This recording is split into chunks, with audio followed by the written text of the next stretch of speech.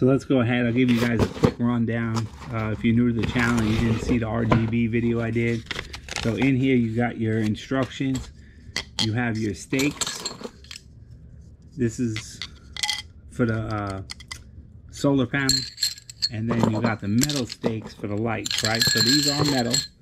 So don't worry about it. These are high, super high quality. If you guys didn't see the other video, you're going to see today uh, CREPOW makes some serious lights and they are definitely heavy duty. Uh, they're beautiful as well. I, I think they are. They're definitely great. There's your solar panel.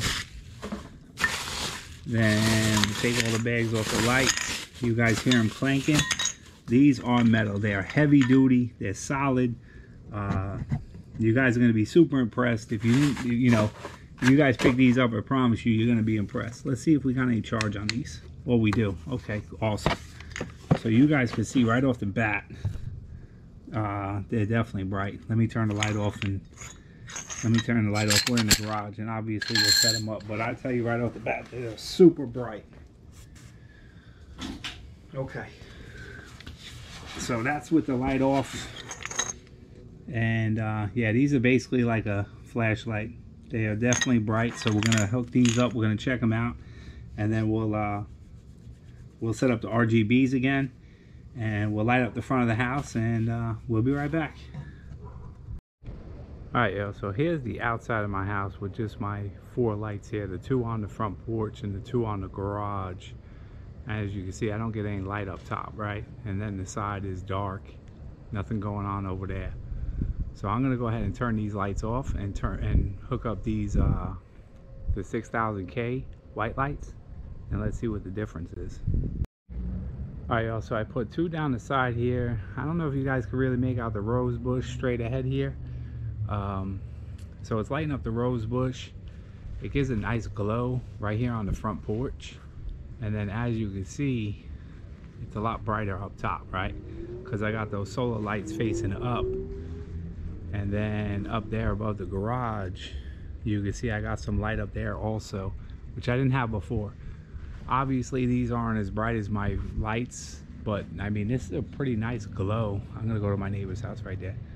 So you can see he's got a porch light on and with these solar lights I'm definitely brighter. So uh, these would definitely work depending on you know what your preference is right? It doesn't really light up the, the driveway like my garage lights do but with another set on the other side I could definitely get that effect. So uh, that's that's it for the white ones. We'll go ahead and put the RBG RGBs in also and we'll get some color added to this so I'll be right back. Alright so you already know I love these RBGs uh, it's lighting up the plants it's lighting up the bushes it's lighting up the side of the house. You guys can see it's real real real bright. I absolutely love these things. We get compliments on them all the time. Uh, I have these set up down the side of my house it lights up our garden. It lights up all the plants. It makes the flowers look beautiful. Look at that. That's insane. Uh, super bright. I love these things, guys. I use them all the time. If you're looking for that nice effect, this is where it's at. There's no ifs, ands, or buts about it. Uh, I don't particularly care for the red, but a lot of people like it. You know, the green, super bright. You see it lights up the whole side of my house here. Uh, but yeah, I just wanted to show you the RGBs also. Uh, obviously, guys, I'm going to leave the link in the description at the bottom. Check them out. Uh, go to that page.